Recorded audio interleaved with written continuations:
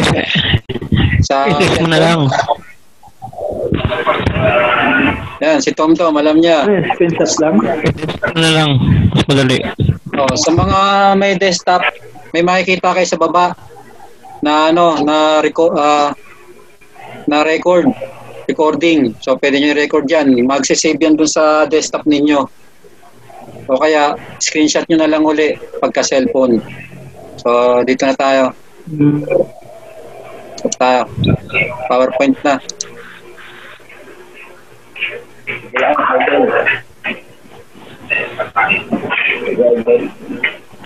Ah.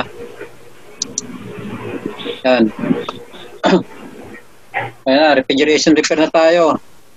Ngayon ang third week ng online. Online natin. Online learning. So malayuan dahil sa COVID. request na rin ng iba. Kasi sa Google Meet, walang recording eh. Kasi free yun eh, libre. Pero kung meron recording, Google Meet, magbabayad tayo doon. So ito yun ano, paano mag mag-repair ng refrigerator pag ito ay may ano may sira tulot ng pagkabutas ng evaporator. So yung may leak. So ito na, yung nakaraan, iba naman yon. So ano ang unang dapat gawin bago mag-repair ng rep? So ito lang naman, yung pangalawang lecture natin, ito nasabi ko na sa inyo. So gagawa kayo ng yan, Checklist. oh, checklist. So bawat bawat makikita nyo, talagang ililista nyo. Yan yung ipapakita nyo rin sa kliyente. Papipirmahan ninyo sa tenant. Pangalan niya sa signature kung kailan yung date. So ang pag-check ng rep, tulad nung nakaraan yung ikalawa, may bayad talaga siya. 350 hanggang 400. Pwede nyo naman taasan. So, ang sinasabi ko, pwede nyo taasan ng 500. Wala nang 350 ngayon. Ano sir, service charge? Parang Oh. service service charge. Oh, service charge, yung pag-check lang ng unit. So, dyan yan, para malaman nila kung ano yung sira. Kasi yun iba, nakakalaban natin, talaga nagpapalibre yon para makuha yun, Repair sir. yun yung repair. Nasa inyo rin yun, kung gusto nyo makuha yung repair, kahit di na kayo magpabayad sa service charge, yun checking. Pero ano yun eh, bubulat-latin nyo yun eh. Kasi ibabalik nyo uli eh. Diba? Mahirap na ilibre yun eh. Kasi ayusin nyo ulit yun. So, una yung ilalagay dyan, yung unang checkin nyo, yung thermostat. Yun ang unang, ano, unang, unang maaaring masira, yung thermostat. Kasi maaaring lumalamig siya o maaaring hindi. Yung lamig niya, dire-diretso, kumakapal yung yelo. So, yung nagiging problema ng iba. Yung iba naman, gumagana yung compressor pero hindi nagyayelo. O kaya, yung thermos, yung compressor humihinto, biglang andar, hinto, umaandar, hinto, andar. Ibig sabihin na meron siyang bara na dapat ma-check. So, tapos ito na yon next step na na papel. Pagka sa mga ayon sila sa sa sinasabi nyo na kailangan na siyang repairin, na ito yung sira, ito naman yon repair contract. Gagawa kayo ng sarili nyong listahan na contract yan. Ayan, nakalagay na lahat yan. Yeah. Yung company name, kung saan kayo galing, name no, name mo, ay, name ng tenant, street, city, zip code, email phone kung meron sila. Tapos yung butcher number kung may number. Pero yung number niyan, doon yan sa company. Yung kumpanya, sila maglalagay ng butcher number niyan galing sa tax tax number. Yun ang ilalagay nila yan dyan. Yan, may claim, ah, client customer name, ay iba pala to, sa inyo pala to. Itong nasa taas. Ito, nasa, itong nasa taas na to, kayo pala to. Ito, sa tenant, tapos yung production materials, kung ano yung mga gagamitin. So, ipapakita nyo na sa kanila kung ano yung gagamitin nyo ngayon. Ito, kung meron kayong, ayan, kung meron kayo sa sariling company, pwede kayo magpataas ng amount. 50 to 100 pesos, pwede kayo mag, magdagdag. Kung ang thermostat, mabibili ninyo ng 150, pwede nyo gawing 500, ah, 250 o 350. Labor cost. Yan, kung sino-sino yung mga tao dyan. Yan, yan na. Oops. Yan.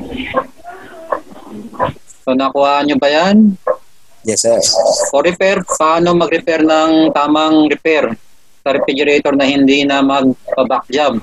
Yun iba, kaya nagba-back job kasi ang ginagawa, tulad yung training ko sa inyo, dapat nyo talaga ma-check talaga yun high side. Kasi yun iba, pinagbabawal na kasi yun magdagdag ng preyon talaga sa totoo lang, mula noon pa. Kasi pagka nagdagdag ka ng preyon, lalo na nakita nyo na pinagana yung compressor, bumili ka siya ng sarili niyang hangin, sarili niyang gas. Pagka yun nasa loob ng system, at wala na masyadong preyon, yung compressor, lilika siya ng sarili niyang hangin, hahalo dun sa konting preyon, tapos ang gagawin mo, magdadagdag ka lang. So ano mangyayari?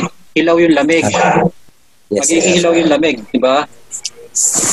So hindi mapapatay ng preyon yun yung ginawang yung nilikha nung compressor na hangin o yung vapor. So nagkaroon na siya ng ibang vapor doon sa loob. Diyan nagkukuroon ng ano ha. Tandaan nyo yan. Ang preyon natin meron ng 600A. So hindi pe pwede magdagdag ng 600A sa refrigerator o kahit sa aircon. Pagka to kulang na ng preyon. Huwag kayong magdadagdag. Delikado na yan kasi may vapor ng ibang kasama doon. Lumikha ng ibang vapor yung compressor. Pagka dinagdagan mo ng flammable na gas yan, na preyon, maaari ka ng umaalam. Oops, internet connection. Unenable. Mababa yun. Yeah. Bumababa. So, dinig pa? Good pa?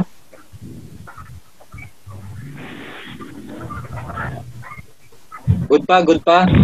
Dinig Yes, sir. Yes, sir. Nagkaroon ng signal eh.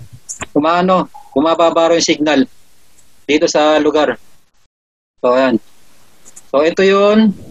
Ito ang kabuuan ng refrigerator, yung, yung buong system niya. So, meron tayong evaporator, condenser, compressor, copper coil, filter dryer. So, domestic pa lang yan. Layer. Domestic pa lang yan. Wala pa yun yun yun sa HVAC na meron sariling pan, may controller. Sa, sa meron heater.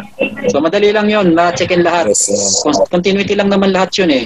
Yung mga yun, same lang naman. So ang importante itong mga mga nakalagay ron sa system. Lalo na yung filter. Medyo ano yan. Yan tayo nagkukuroon ng problema sa filter pagka nagtatagal, nagbabara. So, konting payo lang yan sa ano sa rep. So, tulad ng sabi ko ng second batch, kung gagawa kayo ng kung magche-check kayo ng ng rep, tanggalin nyo lang sa plug. Kahit hindi nyo tanggalin yung mga laman sa loob. Kasi tumatatagal pa naman yung lamig niyan hanggang 4 hours eh. So, walang problema dyan. Kahit na, na ma- mataranta yun, yung tenant, bakit mo binuksan, sabihin nyo lang, mga 4 hours pa yan na tatagal yung lamig ng mga pagkain. Ano ang mga gagawin sa pag-repair? Ah, mga ano to, mga gamit na to. Dali lang ano. Ito yung mga gamit. Medyo kulang pa yan. So, yan lahat yung mga gamit na pwedeng gamitin. So, ito naman yon complete na tool bag o tool, mga tool, toolbox. So, yan ang mga laman. So, wala pa dyan yung iba.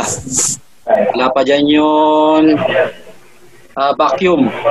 Saka mga preyon tank. So, binubuhat na yon o kinakart. So, ito yung mga dapat gawin. Ito yung mga gamit. Wala yan doon sa listahan. Wala yan dito. So, ito yung mga, kung ang unit o rep o aircon, wala siyang access valve, yung tinatawag natin virgin unit pa. So, ito yung ginagamit.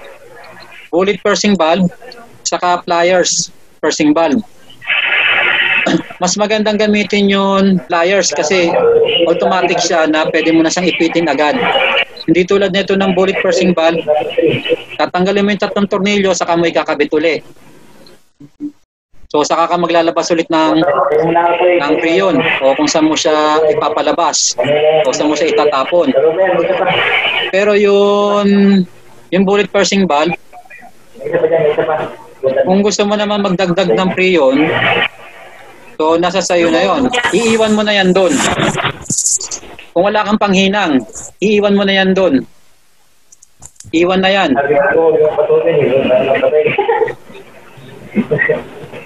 Iwan na yan doon sa unit, sa likuran ng rep o sa aircon. Kaya lang, kung flammable lang ano mo, tulad no narinig nyo kahapon, kung flammable ang prion nyo, pinagbabawal yan. Yung pursing bag na iiwan nyo sa unit. Kasi yan maaaring sumingaw. Maaaring sumingaw yan kasi wala kasing sariling gasket yan. Okay? So kung tatanungin nyo kung magkano ang isa niyan ng pursing valve, pumapatak siya sa sa Megit 450 o yung pinakamura niya nasa 300. Itong pliers pursing valve, ha? Question. Oh. Anong pushing valve? Di ba, dyan, pwede dyan maglagay ng prion. Oh, pwede maglagay, pwede maglabas. Ano mo, ma- paano may lang yun, sir, kung meron na siyang prion? Yun nga, pagka yung binutas mo, gagamitan mo pa siya ng gauge. Kasi di ba may nakikita kang takip? Hmm. Takip, ito yung takip po. Tatanggalin mo yan. Yan. Ayan, nasa drawing na oh. Yan yung ilalagay yun. Yung gauge, yung nose ng gauge para malaman nyo kung may prion pa o wala. Pero ang unit, para malaman nyo kung may prion pa o wala, gagamitan nyo ng plug ammeter. Doon sa line 1, galing doon sa plug ng unit. Paghihiwalayin nyo yun, ano, yung magkadikit. Yung magkadikit na wire, paghihiwalayin nyo yun, yung isa, andun yung clamp ammeter. So pagka hindi na siya tumama ron sa, amp, sa ampere niya, mababa na yung ampere, halimbawa eh, ang ampere ng rep eh, nasa 0.8 o mga 80, mga 0.80. At bumaba siya ng 60, ibig sabihin nun, wala na, low charge na siya. O kaya, yung evaporator hindi na hindi na nagyayelo, wala nang lamig. So yun yung dalawang paraan ng pagche-check. Okay? Okay na? Yes, sir. So, pag nagsalin dyan, sir, iwan na siya dyan, sir, hindi na siya pwedeng hinangin. Pag yan iniwan mo, itong bullet pursing valve. Pero, Hmm. ang ano ko dyan, pagka ang prion nyo flammable, hindi siya pwedeng gamitin, hindi siya pwedeng iiwan. Kasi pagka yan iniwan nyo, oras na umandar ang unit, at yan sumingaw, kaboom, Abo. sabog. Hahanapin ka ngayon ng kliyente mo, ikaw magbabayad sa ospital nila. Back job. Oo, hindi lang back job yan. Malaking problema yan. Yan, ginagamit lang yan para dun sa mga unit na wala pang access valve. Binubutas yun, yung coil. Yung copper tube, yung, yung copper tube, binubutas niya. Para diyan kayo maglalagay ng ng hose mula ron sa gauge. Hindi nyo nababaliin. Di ba binabali? So kung walang ganyan, pwede lang baliin. Basta't wala lang makakakitang ah, nagtatrabaho sa ano sa sa ba yun, yun, environment. Kasi pagka nahuli tayo niyan, sigurado. Yeah. Oo, magmumulta tayo niyan. Eh lalo na yan. Mart, nasa abroad ka. Bawal yan diyan. Yes. yes, sir. Yes, sir. Opo, opo. Laging may nakasubaybay sa inyo diyan. Nasa likuran Yes, niyo. sir. Lalo po dito. Lalo po dito, sir, sa Japan. Sobrang Oo, higpit po ng... sobrang higpit. Gumagamit kayo ng pliers na pursing valve. Pambutas talaga. Yes, sir. Meron po kami. Oh, ini-issue sa inyo yan. Pwede mong iuwi yan. Ah, o pwede naman, sir. Kaya ready naman po mag-uwi ng mga ganyan, sir. Oh, yun in-issue sa inyo. Lalo yung mga clamp ammeter. Maganda clamp ammeter dyan eh. Japanese yan eh. Pasalubong sa akin. Kilometer lang. Sir, sablayan ano dito, sir. Hindi sila gumagamit ng float. Ibang ah. nila rin. Ay, oh, ano sila sa flocks? Ayaw nila ng flock. Gusto nila yung sarili talaga Oo. nila. Yung sariling gawa nila. Medyo galit Yes, sila sir. sa Arabo eh. Ayaw nila sa Arabo. Yes, okay, next. So, ayan. So, lang, na ano, nalabas yun na yun ano, yung preon, ito na susunod. Tanggalin niyo na lahat yung mga wiring. Yung mga ah, overload, yung ano niya, yung nagpapagana diyan, overload, relay, at kung ano pa. So tapos yan, tatanggalin niyo ngayon sa unit yan. Yun, compressor tulad ng ginagawa natin. Ito yung full reprocess. Yung sinasabing reprocess ng ibang technician nating kasamahan dito sa Pinas, ang full reprocess hindi chinecheck talaga, hindi talaga inaano, ah, inaayos ng maigi, kundi dinadagdagan ng preyon. Eh dyan pa sa Japan. Sa Japan, pwede ba yon? Hindi, sir. Oo. Mumurahin ka ng hapon dyan. Hindi, sir. Walang ano, hindi pwede po yung mga ganyan dito. Oo. Pagka sinabing reprocess, reprocess talaga. Talagang overhaul. Oo. Yes, sir. Oo. As recover, sir. Hindi po pwedeng itapon po yung, ano, yung preyon, recover. Oh, recover talaga. Hindi yan basta-basta pinapalabas sa sa ere. Yes, sir. Well trained din tayo niyan eh kasi may nag-training kasi ritong hapon din dati. Hindi pa ako wala pa ako sa manpower noon. Sila yung nagturo talaga sa amin talagang pukpukan. Ano talaga yan? One on one talaga kahit siya lang mag-isa. Makikita mo nasa likuran mo na yan. Aanuhin ka yan, Opo. kakalabitin ka niyan. Hoy, mali yan, gaganunin ka na. Kahit alam mong sa'yo tama, sa kanya mali. Talagang makikita mo talaga mali. Okay? By the book. Oh, by the book talaga yan. Hindi lang by the book. By safety talaga ng tao. Oh, Yes, po. Okay, next. So, natanggal nyo na yung compressor. Tatanggalin nyo yon yung condenser. Kung walang condenser, yung mga bago ngayon, yung condenser nasa loob ng rep. So, ayos lang yon Pero hindi mawawala sa market yung condenser palagi. Kasi yung mga rep na bago ngayon, ang condenser nila, bakal. Yung nasa loob ng rep. Yun hindi mo makikita talaga sa labas. Bakal ang condenser talaga nun. Kung hindi bakal, manipis na aluminum. Madaling mabutas. Condenser. Oo, yung condenser. So, kaya itong condenser na to, hindi mawawala sa market yan kahit mga hapon, hindi nil... Oh, nagaano siya, ah, bumababa na naman. Okay, si tuloy. So, yung mga hapon dyan, hindi nila, din, nagbibenta pa rin sila sa market ng condenser. Meron pa rin silang Yes. factory ng condenser dyan. Kahit tanongin mo yun hapon, bakit hindi pa pwedeng mawala ang condenser sa refrigerator?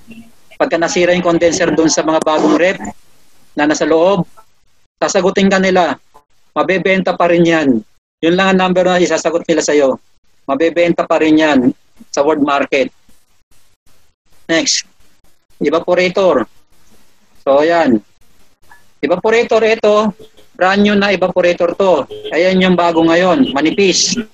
Hindi tulad noon dating evaporator na aluminum, tapos yan, napapaikutan siya ng aluminum na naka, na, ano, na tube, na tubing. Up, nawala yun. Isa. Nag-down. Nag-down siya. Wala yun, ano, yung monitoring. Nag-down monitoring ko. Okay, okay lang. So, ayan yun. Evaporator. So, kung ang unit walang leak, tulad noon ibang rep, nagkukuroon ng leak dahil sa evaporator dahil manipis nga ito, ang nangyayari yung mga client, gumagamit sila ng matalas na bagay. Ginagamitan nila kaya nabubutas yan. Pero pagka kayo nakapag-ayos ng rep at wala naman siyang leak, i-advise na lang sa kanila na lagyan nila ng makapal na, na ano na na acetate, yung plastic, yung pinaka-evaporator, yung pinakalapag. Para kung magsu- masusundot nila, merong protection. So, ayan, pag kung walang leak, yan. Kung walang leak, pareho ang, ga- pareho ang gagawin para sa makikita kung may leak o wala. Gagamit ka ng nitro, ng nitro access valve sa gauge. So, yung kung pinaghiwalay-hiwalay nyo na yung mga unit, kung napaghiwalay-hiwalay nyo na yon, ah,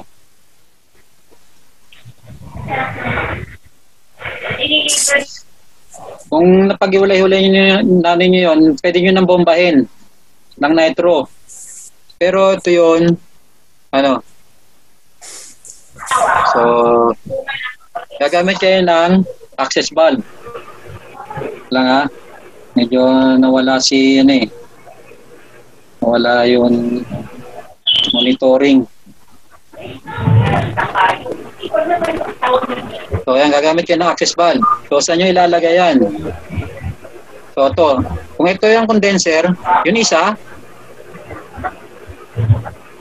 doon nyo ilalagay yan, doon sa isang bahagi ng dulo ng condenser.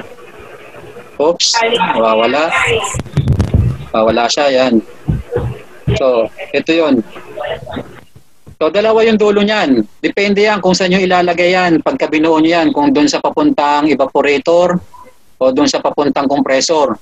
So, pwede nyo pahabain yan. So, yung dulo, lalagyan nyo ng access valve. Yan yung ilalagay yung hose para mabombahan ng nitro. Para yung buong ano niya, buong buong copper tube niya, yung buong copper tube niya diyan eh malinis. Minsan ang advice sa amin yan, ang advice sa amin yan eh, ang advice sa amin yan, pwede siyang gamitan ng ano, yung paint remover, hindi yung gas ha, yung lacquer thinner, hindi gas, hindi gas. Kasi bakal naman yan eh. Ayun yung train sa amin eh. Kasi lahat ng mga nandyan sa loob, pagka ginamitan mo siya ng lacquer thinner, yun yung thinner na nag evaporate hindi gas ha. Yung mga nandyan sa loob, pag binomba yan, matatanggal pati kalawang. Pagka binomba mo siya ng dalawang beses, bombahin mo rin siya ng nitro. Tatlong beses naman o apat. Nitro naman. Tapos yung pinakahuli, yun lang. Hindi mo siya pwedeng bombahan ng freon. Okay? Nitro lang talaga. Nitro. So, ito naman yun. Pero paano kung ano sir, walang nitro? Pwede bang pala yun? Pwedeng freon. Basta huwag ka lang magpahuli. Oh, bumababa signal. Huwag ka lang magpahuli. So, kung magbobomba ka ng, night, ng freon, gagawin mo lang para hindi masyado kumalat sa ere yung basahan. Basahin mo yon o kaya sa sa isang balde, puno ng basahan, saka ng tubig. Lagyan mo rin ng sabon. Pabulaan mo ng sabon. Pero siguraduhin mo na may mga basahan siya ron sa loob na maaari siyang takpan. Kasi, kasi mag-iiba yung amoy ng chemical nun eh. Pagka may halo siyang sabon, mag-iiba ang amoy niya. So, ito yung nakikita natin sa ano, ito yung capillary tube. Yan yung nakikita natin sa evaporator. Yung kabila, di ba, dalawa yung tubo nun. Ano yun? So, so, nawala. So, dalawa yung tubo ng, ng evaporator. Yung isa, one-fourth. Yung isa, capillary tube. Okay. Saan mo siya bobombahan? Doon ba sa may one-fourth o doon sa may capillary tube? Ang pinaka-safe niya para hindi masira yung, yung evaporator, kasi mga evaporator natin yan ay bago, lalagyan mo siya ng access valve doon mismo sa capillary tube. Hindi doon sa one-fourth na tubo. Yung malaki, wag doon. Sa capillary tube ka maglagay ng access valve. Tapos yan, doon mo siya bombahin. Para yung mga bumara doon sa dulo, doon sa loob ng evaporator, lumabas doon sa malaking tubo. Yung sa, sa malaking tubo lalabas. Yes. Doon siya lalabas. okay? Pantay, hotel. O, tapos yan ito, yung pinakadulo niyan, pwede nyo nang putulin. Pwede, nyo, Na-pick up mo na yung... yung pwede mong putulin yung dulo niyan. Yung pinakadulo nito. Yung dulo ng capillary tube, pwede mong putulin. Kahit din dito sa ano, sa condenser, yung pinakadulo niyan, pwede mo nang putulin yan. Kahit hindi mo na alisin sa pagkakahinang.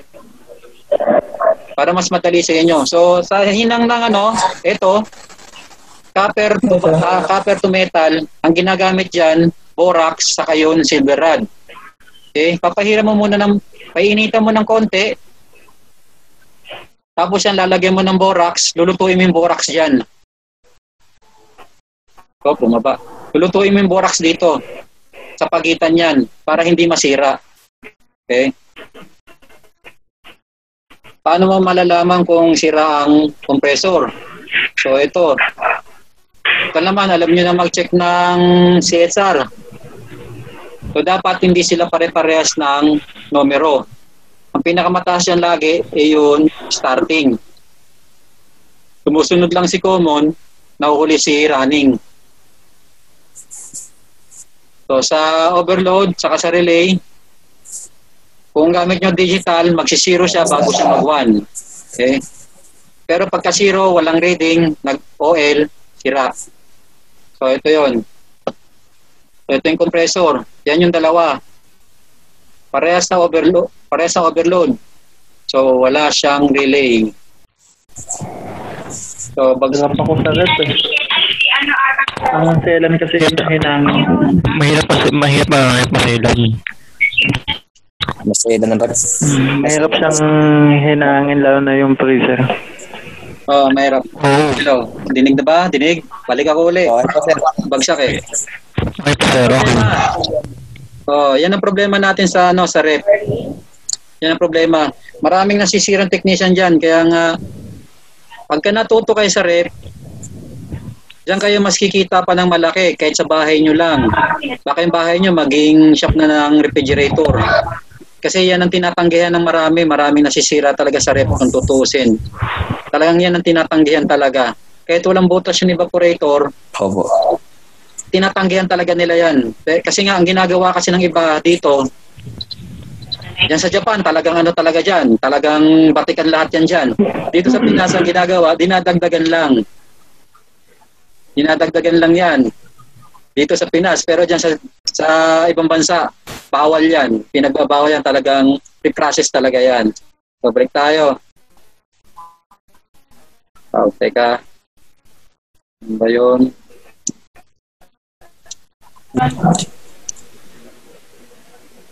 Yan.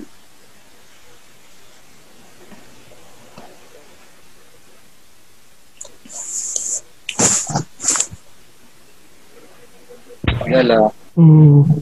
Naglaga, nagsinigang lang ako kanina. Ulam namin tanghalian. Yan. Yan. So, so yan. Dalawang uri ng overload yan ha. Isang flat, isang bilog. Yung relay, alam nyo na yung relay. May overall, sir. Protector na relay. O, yung protector. So, sa overload, meron siya nakasulat na 1 port. So, kasi ang compressor kasi natin eh, 1 horsepower yan, pero 1 port yun, enerhiya niya, yun HP niya. May- Ah, hindi. 1 port pala to, HP, horsepower. So, depende sa ano yan, ah, sa compressor. Kung 1 horsepower, 1 horsepower din yung overload. Kung 1.5, 1.5 din yun overload. mas mahal pag laman. Kung sakaling okay ang compressor, evaporator, at condenser, evaporator, walang sira, condenser, walang, walang sira, o butas, okay ang compressor, malakas ang buga, hindi napipigilan yung buga kasi pinagana nyo na wala sa system. So okay lang yon na pinapagana sa na wala sa system para malaman kung kung malakas pa yung buga sa kainhigo. So kung ang compressor naman nag-high ampere, ito yon. Ang maring sira, maring filter dryer, ito yon. Maring filter dryer, barado na kayo, barado na, kaya nag-high ampere. Yun yun. Yun yung dahilan niya kung bakit nagpa, kung bakit nag-high ampere ang compressor. So barado na yun, yung filter dryer. Barado siya. Bago magbara yung capillary tube, sa filter dryer muna siya dumadaan. Okay. Ang isang unit ng refrigerator sa bawat repair nito laging all automatic na dapat pinapalitan din ang filter dryer. So pagka reprocess talagang palitan ng filter dryer. Kahit sabihin na medyo okay pa, wala na, tapo na yon palit talaga yon. So dalawang uri ng filter dryer. Isang silicone, isang beads.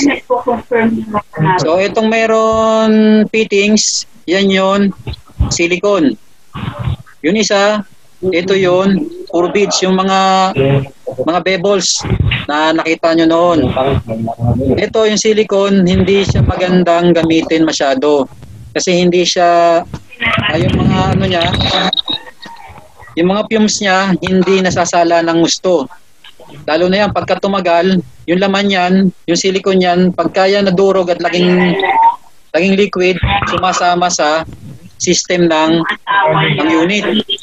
Sumasama siya. Pagka nadurog to, yung sa loob, hindi tulad nitong beads, meron siyang sariling screen, dalawa, kaya lahat, bago dumating, bago dumating, bago pa pumasok dito sa capillary tube, nasasala na siya rito. Dito pa lang, nasasala na. Hanggang dito. Ng beads. So, nasasala yan. Sa pinakahuli niyan, may papakita ko sa inyong video niyan. So, ito yung sample ng filter dryer na merong. Pag Kinuha ng... So, Hindi, to. hindi. So, yan. Ito, ano. Yung isa, Sinisingit na lang ng lalaki Ito. ng asawa yan kung na... ito yung walang ano, yung walang Pag kinuha ka ng hospital, Walang- kinuha ka ng COVID, Ma. babalik ka na, babalik, babalik ka na sa'yo. Opo muna yun ano, yung Ma, mic mo. pwede pa yun konti. Oo. Off nyo muna yung mic nyo. Yan. So, ito yung access valve, yung pinakadulo. Diyan yan talaga. Itong walang access valve, ito yung papunta ng condenser. Ito naman kabila, yung evaporator, papunta naman yan ng, dyan mo isusuot yun, capillary tube, papuntang evaporator naman yan. Eh, yan, assemble na yan. Assemble na yan. Meron na yan sa, ano, sa market. Pagka wala sa market, gagawa ka talaga niyan, bubuo ka niyan. Yes, So, ito, so, ito yung dalawa. Nauri naman ng capillary, ah, ng filter dryer. Ah, ito, ginagamit naman ito sa industrial o kaya sa mga split type. Yan. Kung nakikita nyo yung isa, yan, yung may beads. Tapos yan, meron siyang ah, foam. Yan. Mas magandang gamitin tong beads kaysa rito sa isa na walang beads. So ito yung filtration speed. Mas pagka magandang filtration speed, yung takbo ng compressor, mas maganda yon trabaho ng filter dryer.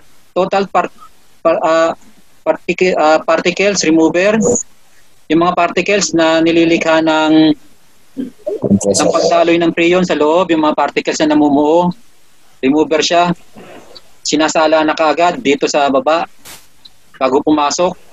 Particles ah, retention, nire-retain niya yung particles. Ah, kinokondem niya. Parang kinukulong. Lalo na ngayon, yan, si Ian, nakulong. nakulong sa ospital. Tapos yan, ah, pressure drop. Ano rin siya sa pressure drop? Maganda rin siya sa pressure drop. So yan, makikita niyo yan, yung video niya sa bandang huli.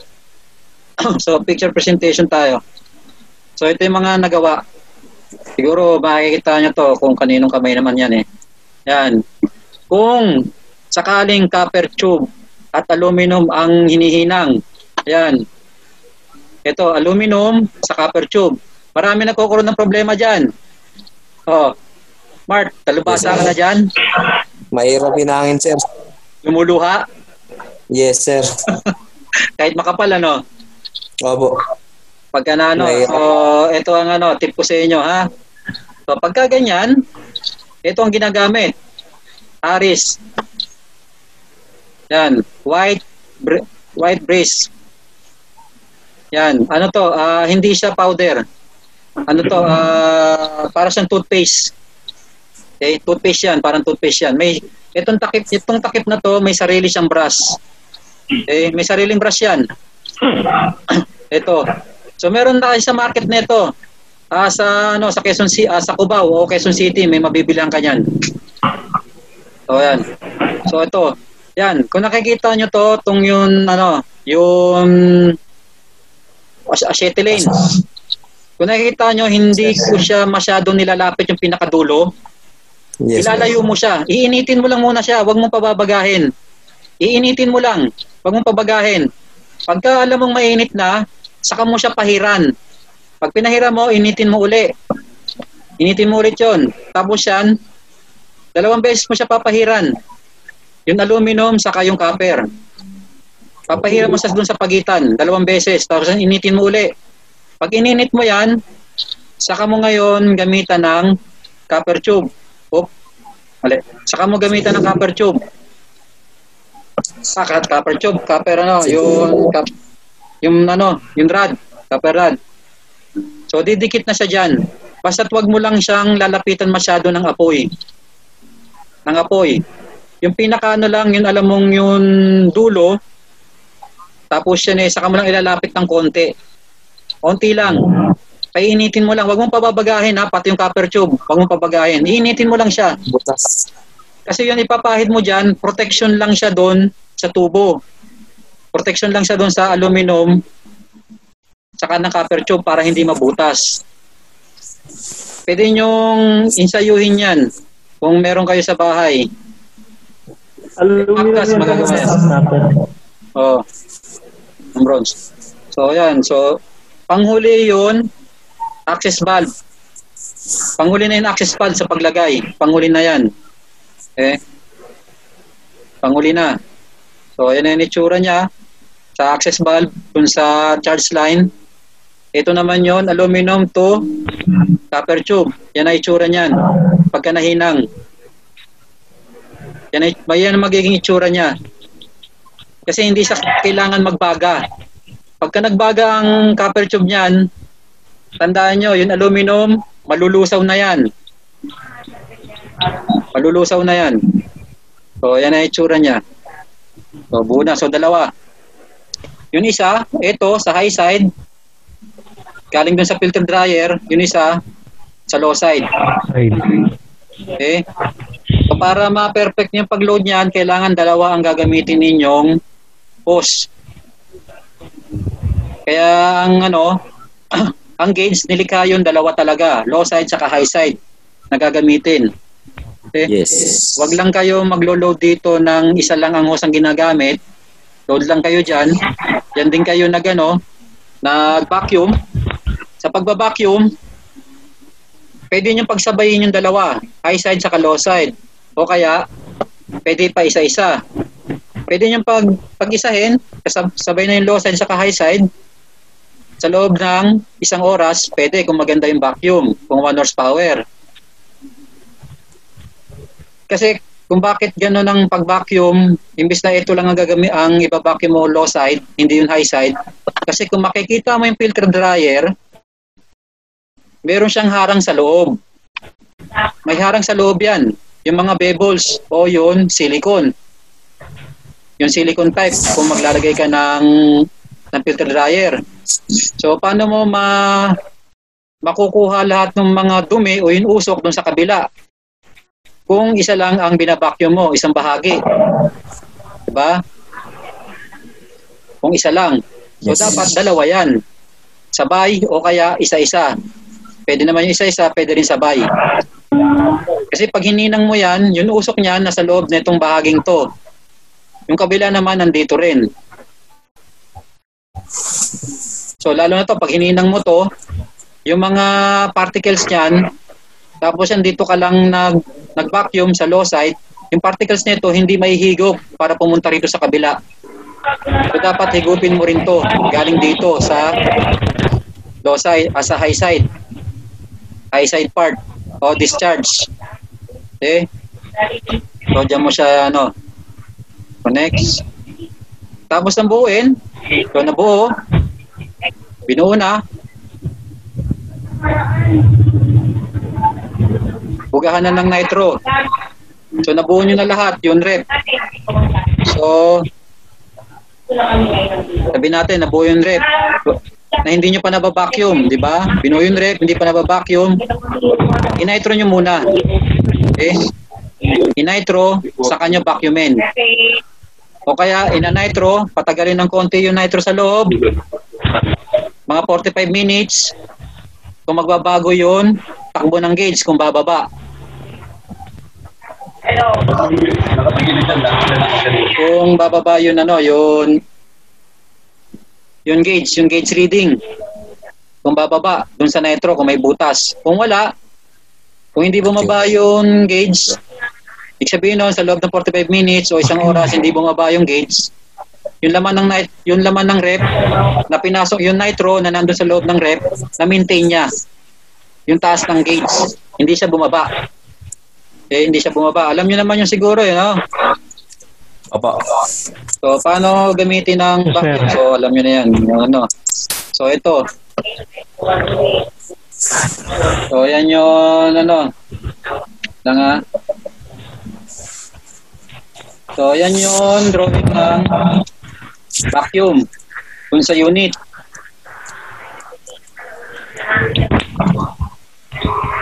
Dun sa unit. So yan kung saan nilalagay yung hose. So yun iba kasi ginagawa isa lang ang ang ginagamit. Oh, so hindi pe pwede yun na isa lang ang ginagamit. So dapat dalawa. Pula sa kulay blue. So yan kung nakita nyo napalitan na ng filter dryer yung rep so nilagay ko lang yan dyan. So nilagay ko lang dyan yan yung filter dryer so ito yung vacuum so yan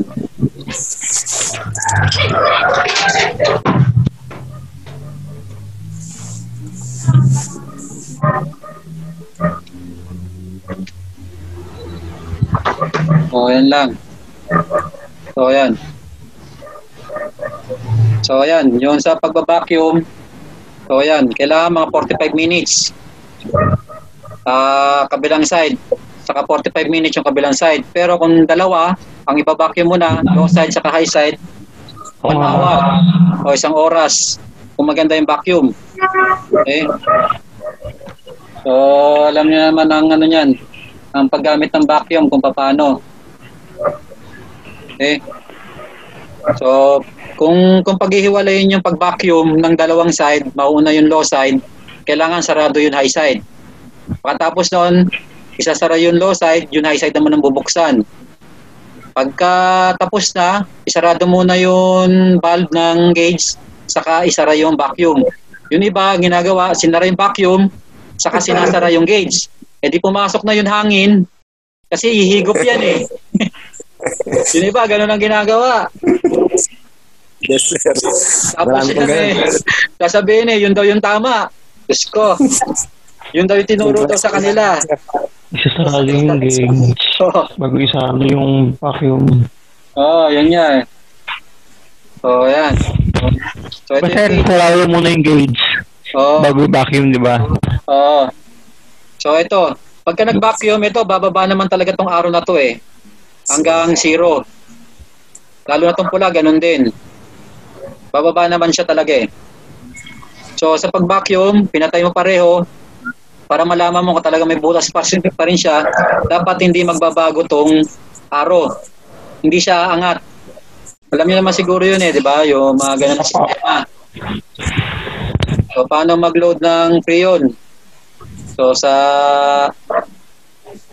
sa unit na. So, ito, balik tayo ron. Sa gauge muna.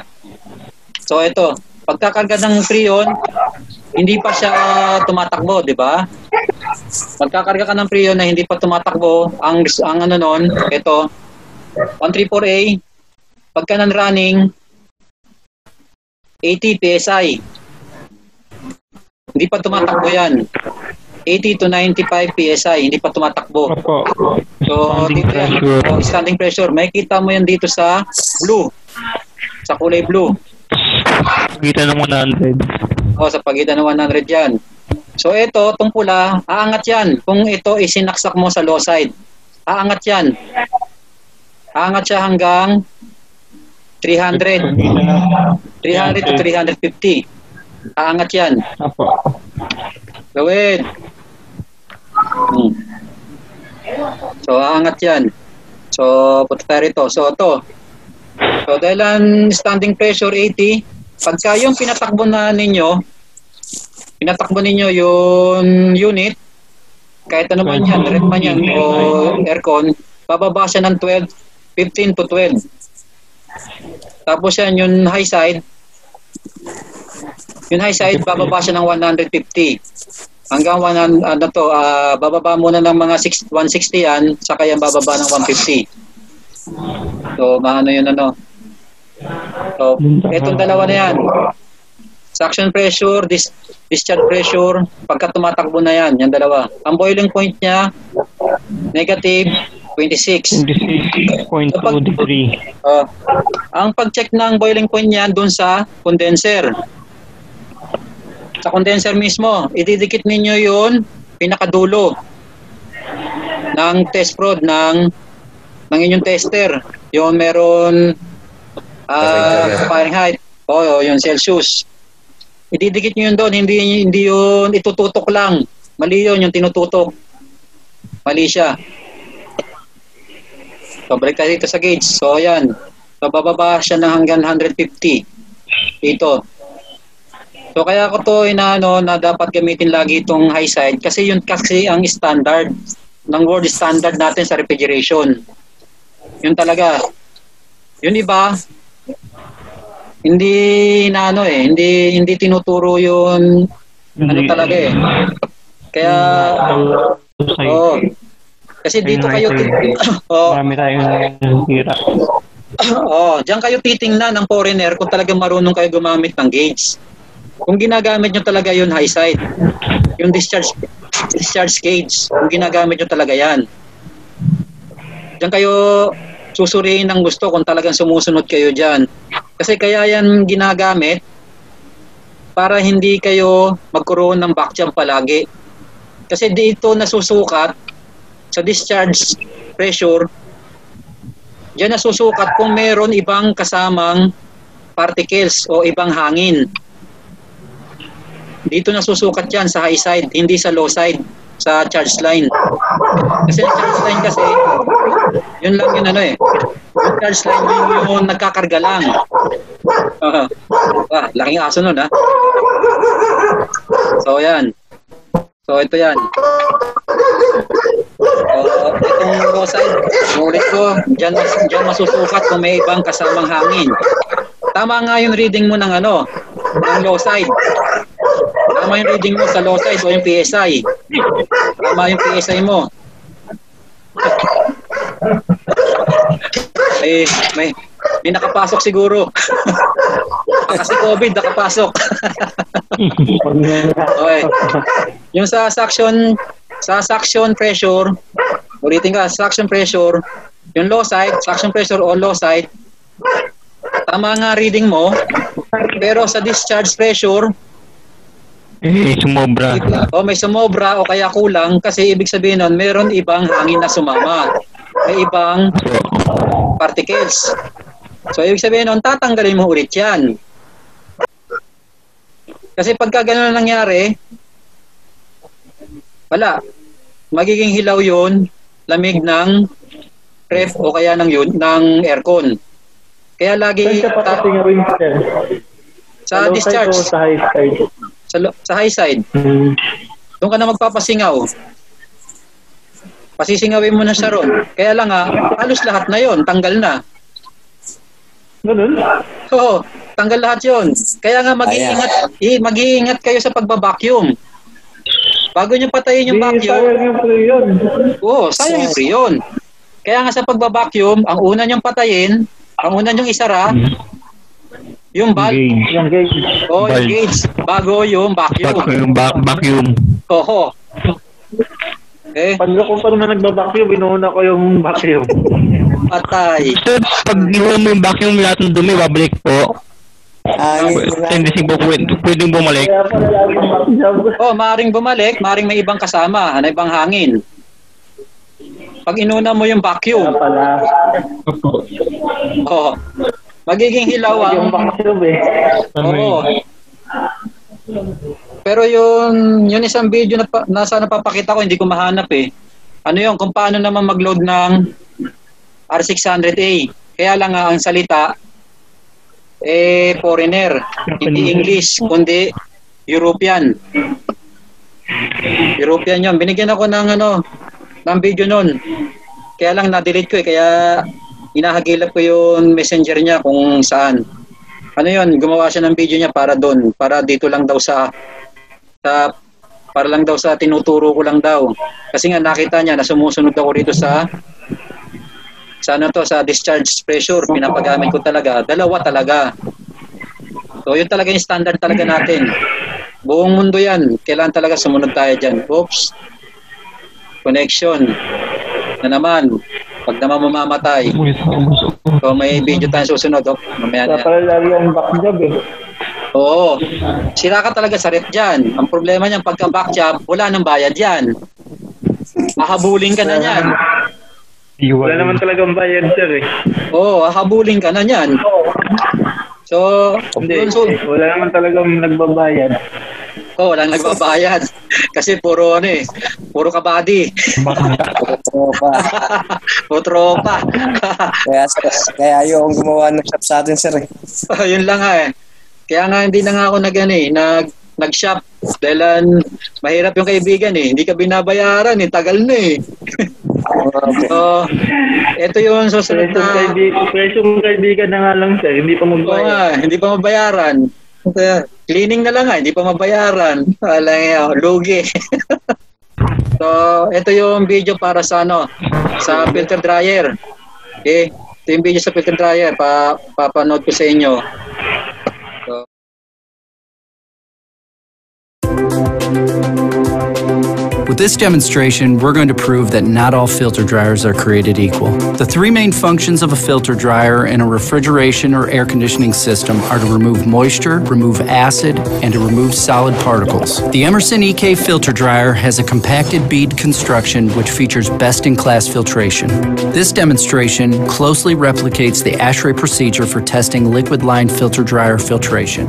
By filling the receiver tank with refrigerant in this closed-loop system, we simulate the conditions present in an air conditioning or refrigeration system. First, we'll install a competitor's solid core filter dryer. Starting up the system, you'll see the liquid refrigerant entering the dryer, passing through it, and then being recycled and pumped back through the system. We'll now add roughly 5 grams of solid contaminant into the system. As you can see, the refrigerant is pretty dirty. The contaminated refrigerant is pumped through the dryer, then back into the receiver tank and through the system again and again. There are a few factors to consider when it comes to filter dryer filtration. First, the speed at which the filter dryer removes the particles from the system. The faster, the better. Second, total particle removal capacity. More is obviously better. Third, the ability to retain those particles. And lastly, the pressure drop across the dryer versus the amount of grit captured. Significant pressure drop is detrimental to system capacity. We've run the test for almost three and a half minutes and the refrigerant is still really cloudy. Now we're going to simulate system cycling. Notice that upon startup, you see the release of contaminant back into the system. You can demonstrate the effect of normal system vibration by tapping on the dryer. There's a substantial release of contaminant back into the system. After more than four minutes of operation, the system is still very cloudy. Now we remove the competitor dryer and replace it with the Emerson EK. We'll leave the refrigerant as is. Whereas block style dryers rely on the block to perform filtration, the Emerson EK uses a special 20 micron pad at the outlet. You'll notice that the grit isn't passing through the Emerson EK. The dryer captures the particles, and after only 50 seconds, the refrigerant is clear. Now we add another 5 grams of contaminant. You'll see how quickly the Emerson EK cleans up the system. In about 1 minute and 45 seconds, the EK cleans up not only the contaminant left in the system by the competitor's filter dryer, but also the grit we just added. When we start and stop the pump to mimic system cycling, the outlet line of the dryer remains clear, demonstrating that the EK filter dryer continues to hold the contaminants. By tapping on the Emerson EK, we simulate system vibration. Once again, the line remains clear, showing that the filter dryer is retaining the contaminants. For best in class 20 micron filtration, choose the Emerson Compacted Bead Liquid Line Filter Dryer.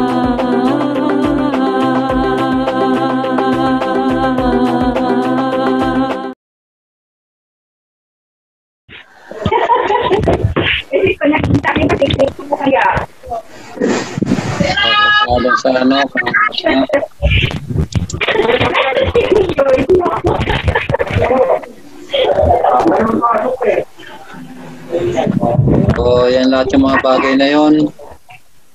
So,